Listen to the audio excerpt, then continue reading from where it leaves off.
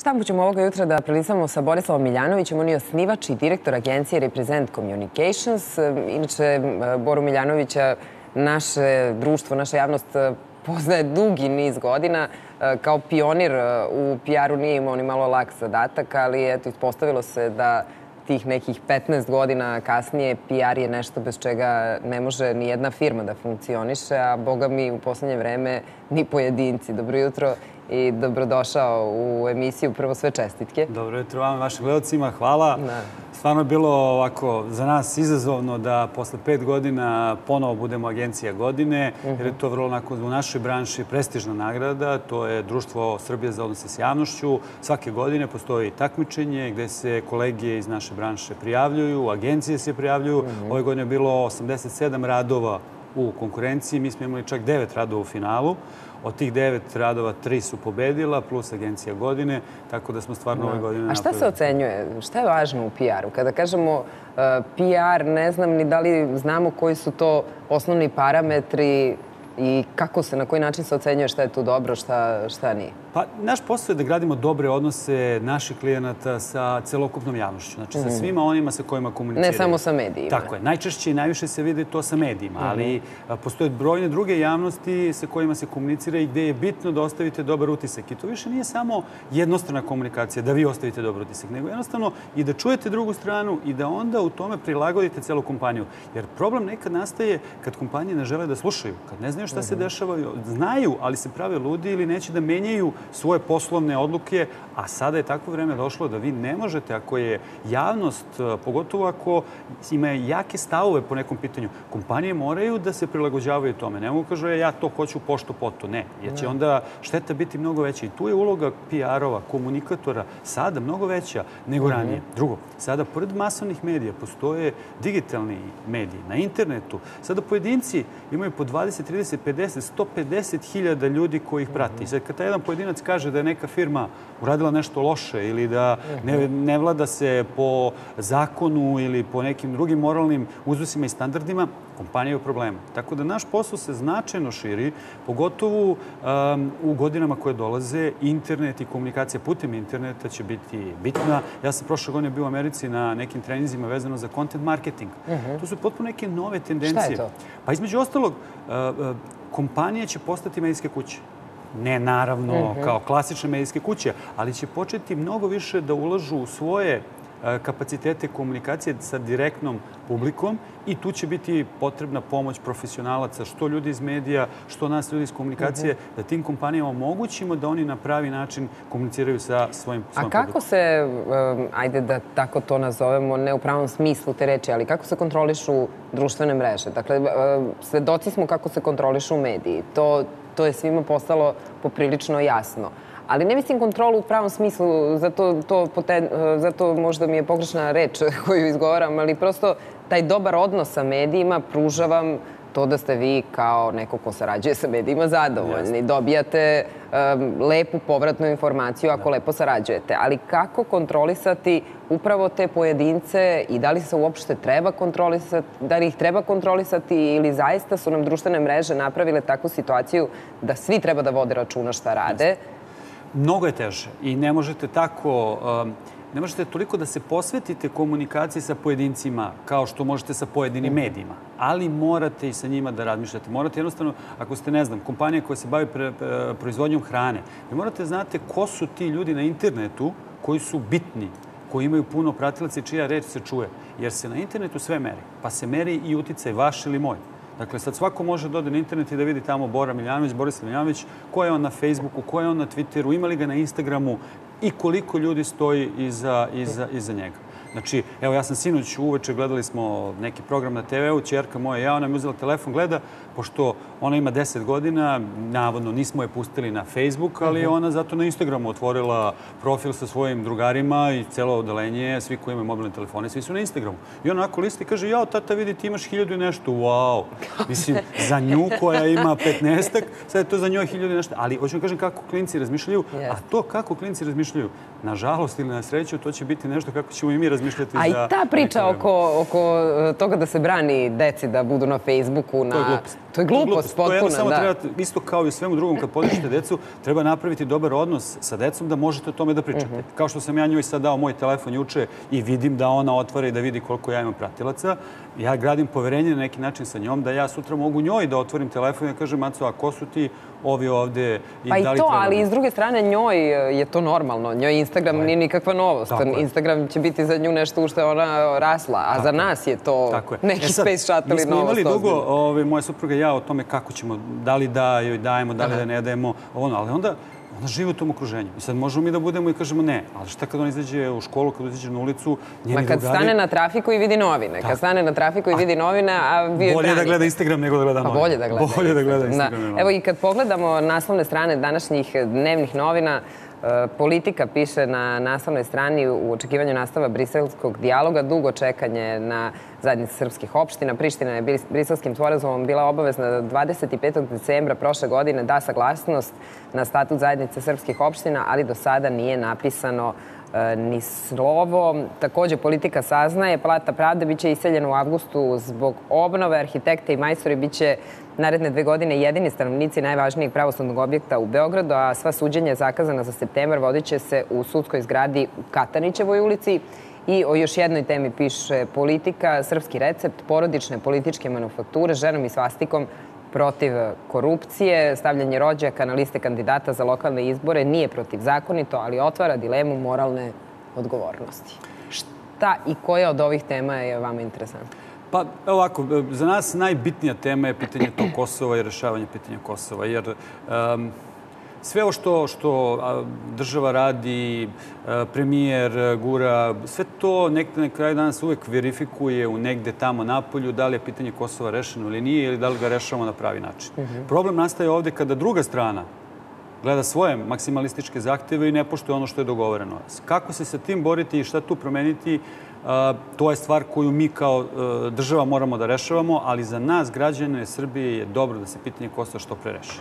Što se tiče U ovih... kom smislu? U smislu da se jednom to Šta kaže... znači da se Kosovo, pitanje Kosova reši?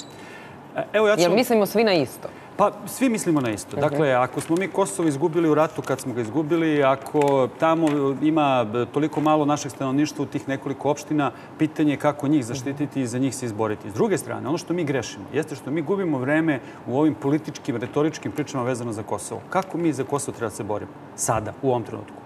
Tako što ekonomski treba da pomognemo svim kompanijama odavde koje mogu da razvijaju biznis. A mi to ne radimo. Mi čak odmažemo. Zatezanjem odnosa sa prištinskom vlašću, mi samo otežavamo našim kompanijama koje bi trebale dole da razvijaju biznis. Jer suština više nije u toj granici. Granica je izgubljena i više ne postoji tamo gde smo mi mislili da postoji. Treba da bude suština u tome da će 20 ili 50 ili 150 kompanija iz Srbije biti najveće i najjače na Kosovu, a ne da će to biti kompanije iz Albanije ili kompanije iz Hrvatskog iz Hrvatske. Ja sam skoro pričao baš sa jednim uh, malim privrednikom, tako kažem, iz Srbije, koji mi je rekao, slušaj, ja sam super razvio biznis na Kosovu, imam dva uh, Albanca, šiptera sa kojima sarađujem dole i oni prodaju Mhm. moju robu. I ja sam srećan zbog toga. I za mene je Kosovo jako bitno. Da. Zato što ima biznis dole. I za nas treba da bude Kosovo bitno da mi dole imamo izvoz, jer mi ne možemo da izvozimo našu robu u Ameriku. Možemo, ali to je u Ma tragovima. nije ni isplativo u krajnjoj I to sa da. Evropskom unijom. Super je da mi izvozimo Evropsku uniju, ali mi treba da razmislimo kako ćemo mi naše usluge i našu robu da izvozimo u region. Mhm. Kako ćemo u Bosnu da izvozimo više, kako ćemo u Makedoniju da izvozimo više i, i naravno Albanija i Kosovo, jer to su tržište na kojima mi moramo da... Ali namjerno razvijamo. niste pomenuli Hrvatsku ili... Ne, nisam. I Hrvatska se podrazumeva, na, jako Mhm. bez obzira što je u Evropskoj uniji, to sam skoro imao neke sastanke sa ljudima iz Hrvatske, tamo je tek velika rezignacija i tamo je tek ono, savjeti su, kaže, čekaj, čekajte da vi uđete pa da vidite kako je onda tek ludilo kada vas više niko ništa ne pita. Sad vas iz Evrope pitaju i sad vas kontrolišu. Posle vas puste, a onda lokalni moćnici prave i rade šta hoće. Tako Većina da- u vrhu SNS-a protiv vlade sa SPS-om. O tome danas e, pišu uglavnom e, sve novine, e, ali ne u, ovom, ne u ovom smislu, nego u smislu kako će nam izgledati nova vlada i kakav će tu položaj, koji će položaj tu imati SPS. Naprednjaci kreću u čistku Dačićevih hadrova, to piše i Srpski telegraf, šut karta za 900 direktora iz SPS-a. Onda na naslovnoj strani Alo, e, ovo su novi Vučićevi lavovi. Troje mladih naprednjaka na varednoj izbornoj skupštini SNS biće izabrani za njene podpredsednike, to saznaje e, Alo. I to je to što se tiče što se tiče nove vlade, ali e, iščekujemo svi željno prvo i tu sednicu SNS-a, pa ćemo posle toga i videti kako će nam vlada izgledati. Šta vi mislite, odnosno šta bi bilo dobro, šta biste vi posavetovali recimo u ovom trenutku Aleksandra Vučića, šta bi bilo dobro za njegov PR? da ubaci što više novih ljudi, da ubaci što kvalitetnije kadrove, da ubaci uh -huh. profesionalce i stručnjake. Jer u političkom životu Srbije, nažalost, kvalitetni profesionalci su se istanjili. Nema puno takvih ljudi, jer jednostavno kvalitetni i dobri ljudi ne žele se bave politikom. A zašto? Pa zato što je stvorena takva, takva, kako kažem, takva pravila igre da uh -huh. vi, da biste u politici bili, trajali, morate se rvati u blatu svakog dana, a ljudi koji su nešto u životu napravili ili nešto u životu postigli ne žele u tome da učestvuju. Mm -hmm. I to je jednostavno tako i mi moramo sa tim da se složimo. Um, ono što mislim... I kako ih onda animirati? Dakle, s jedne strane priča se o tome da su mala primanja kada uđete u politiku i da nije ni čudo što se stalno priča o korupciji kada vam je plata To je absurdno. Apsolutno jedna od, od to je nižih. Čist, to je čista demagogija da vi imate ministra koji zarađuje 100.000 dinara. Mislim, jeste 100.000 dinara za zemlju Srbiju, za napaćenu Srbiju, za te ljude koji žive sa 200-300 evra a, mesečnih primanja jeste velika plata. Ali generalno za nekoga ko upravlja sredstvima ili resursima mhm. države od više miliona, milijardi dinara, vi nekom za 100.000 dinara ne možete očekivati da će time neko se bavi. Ali nije samo to. S druge strane, vi imate i ovu medijsku situaciju da svako ko se bavi politikom u medijima je odmah u startu viđen kao negativac, isto kao i ljudi koji se bave biznisom. Tako da mi, nažalost, u medijima imamo potpuno jednu suprotnu sliku od onoga što bi trebali da, da nagrađujemo. Jer mi, bez dobrih i kvalitetnih ljudi u državnom aparatu, ne možemo da izvršimo transformaciju države. Dakle, nama je neophodno da imamo kvalitetne ljude u državnom i vrhu... A znamo, šta bi onda trebalo da se promeni uopšte da bi ti kvalitetni ljudi rekli je, pa ajde, možda i ja uđem u politiku? Pre svega treba da se promeni to da a, a, ti ljudi koji uđu u politiku ako, a kvalitetni su, da im se prostor, a ne da se napadaju posle drugog ili trećeg dana zbog prizemnih razloga sad će, evo, vidjet ćete, kad i novi ministri budu postavili, vrlo brzo će se pojaviti, prvo svega oni će biti verovatno u debelom mraku u smislu toga njihove medijske promocije. Uh mhm. -huh. druge strane, i ono što se bude o njima pričalo, bit će evo ovo ko tipa a, predsednika države koga dva, tri dana malo, malo pa ga prozivaju za ovog privatnih stvari uh mhm. -huh. života, što je stvarno za mene potpuno a, nenormalno da vi predsjednika države ovako i ovoliko prozivate malo, malo, a da on jednostavno tu Šta bi trebalo da radi? Dakle, vi s jedne strane imate predsjednika države koji se nalazi već e, dva, tri dana na naslovnim stranama medija zbog te neke veze iz, ne znam, 90. i neke godine, Jasno. koja ne znam da li nam je u ovom trenutku ni važna kao informacija da je, da je imamo. A s druge strane imate savjetnicu predsjednika E, Srbije koja se e, putem medija e, raspravlja sa Dragomirom Anđelkovićem, političkim analitičarem. Dakle, raspravlja, traži svoja prava, da li ona, da li on. Dakle, to svako može i na neki svoj način da, da shvati, ali evo recimo u danasu imamo pismo javnosti zbog verbalnog sukoba sa predsednicom, odnosno sa savjetnicom predsednika Srbije. Uvučen sam u razmenu obostranih uh, uvreda i sad, uh, on kaže, juče je gospođa pak dala sebi za pravo da određuje šta ću ja govoriti i pisati. Sutra je za očekivati da će takvom pritisku biti izloženi drugi novinari i analitičari. Um, ona je rekla šta je rekla, dakle da je dobila pretnje, koliko da. sam ja, koliko sam ne, ja shvatila. Ne, opšte, ajde sad, to je neki njihov privatan razgovor, koji je verovatno bilo... Je li privatan? Pa, pretpostavljam da je bio privatan i gde je bilo svega i svačaka. S druge strane, uh -huh. a, znači, i te elemente privatnog razgovora, uopšte to ne bi ulazio ko je šta kome rekao, jer to je verovatno jedno drugom su svašta rekli. Međutim, s druge strane, država uopšte, a i javnost, treba da iz ovog slučaja izvuče pouku i da kaže, čekaj, pa da vidimo a, šta se ovo dešava. Zašto je ovakva polemika sada u centru pažnje, a ne polemika e, da li nama kasne otvaranje poglavlja za, za, za Europsku uniju, od čega svi živimo.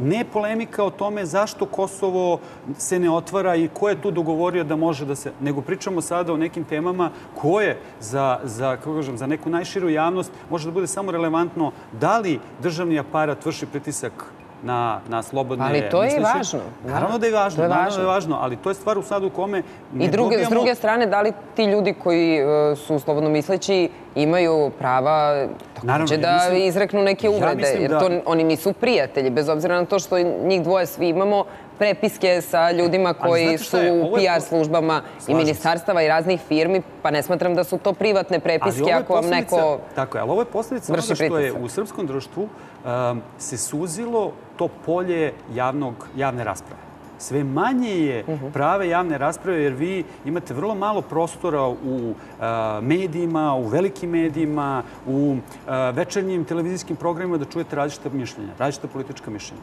Jer ja bih volao da čujem i šta levica, i šta desnica, i šta neka, neki centar politički ili već uh, svako drugo opredeljenje koje nije moje, ja bih volao da čujem, da znam. Ja u ovom trenutku nemam prostora da u javnom tom nekom diskursu čujem puno različitih mišljenja. I onda ćemo sve više, ja mislim, imati ovakve situacije, jer napetost u društvu raste. Jer ako vi u društvu ne pustite različite mišljenja da pričaju i da se onda stavovima argumenta, jakim argumentima mi borimo jedni protiv drugih, plašim se da ćemo doći u sve oštrije i oštrije sukobe koje ne znam kako će se završiti, jer mora, drž, društvo je jedno, demokratsko društvo mora da priča o različitim stvarima iz različitih uglova. Isto kao i ovde, treba da čujemo i u drugim slučajevima šta se dešava, ko šta misli i o Kosovu, i o biznisu, i o privatizacijama, i o, ne znam, uh, ovim svim bitnim stvarima koje nas muče, a ne uvek i samo da slušamo dominantno jednu priču, ma kakva ona bila. Da li to e, znači da zaista treba da e, sloboda bude u medijima jednaka za sve, ma ko oni bili, ili treba da postoji neka selekcija. Znate, nije sve jedno ko će da, ko će da dođe, bez obzira na to da li je političar ili, ili nije političar. Da li samim tim što je neko osnovao partiju ili osnovao neki pokret e, je dovoljno uradio da bi bio u medijima?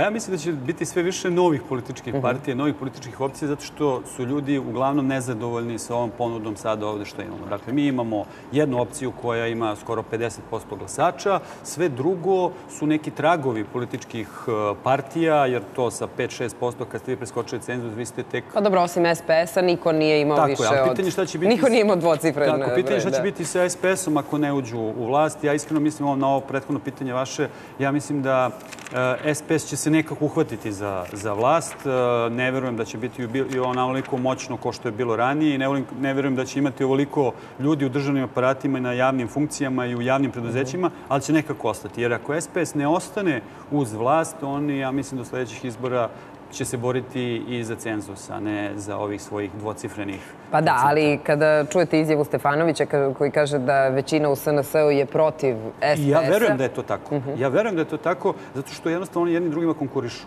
Ja stvarno ne, ja ne mogu da zamislim tog tu sofisticiranost birača, prosečnog srpskog birača koji kaže ok, ja glasam za SPS, a ne glasam za SNS. Jer to je isto biračko telo, ista populacija, na isti način ili sličan način razmišljaju. Pa evo, pogledajte vi sami. Sad kad vas neko pitao šta je razlika, šta je bila programska razlika u izborima sada kada su bili između SNS-a i SPS-a?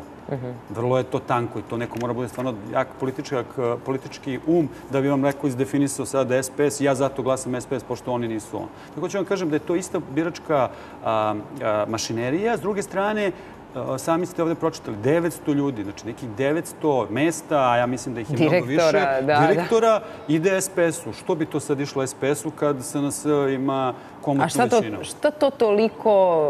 um, šta je to toliko moćno kod Dačića, zbog čega Vučić i dalje razmišlja da li da mu da tih 900 direktorskih Pa mesta što- i još po neko ministarstvo? Pa zato što mislim da ako Dačić ode u opoziciju, tu će onda verovatno i, i Palma i Jedinstvena Srbija da pređu u opoziciju i onda tu počinje da biva i još dodatnih razliko, različitosti u opoziciji. Mhm. Širi front protiv- Širi front, a protiv ipak su ovi da. dugo godina, dugo godina bili u vlasti, znaju puno tih stvari nekih iz vlasti, šta se dešavalo i kako se dešavalo. Tako da, s jedne strane, ja mislim da će, moja neka ovako slobodna laička procena, da će Vučić naći neko solomonsko rešenje da im ne da toliko vlasti, jer na kraju dana oni ne zaslužuju toliko vlasti koliko su imali ranije, jer SNS je odnala ovu ubedljivu pobedu i SNS treba ubedljivo da vlada i da se onda kroz nekoliko godina vidi šta je stvarno taj SNS uradio, a ne da se uh, širi front i podela odgovornosti na kraju dana, jer te podele odgovornosti nema. U suštini Vučić je Evo čemu priše uh, Dnevni avaz u intervju za Sarajevski Dnevni avaz. uh, Predsednik Liberalno-demokratske stranke Čedomir Jovanović izjavio je da uh,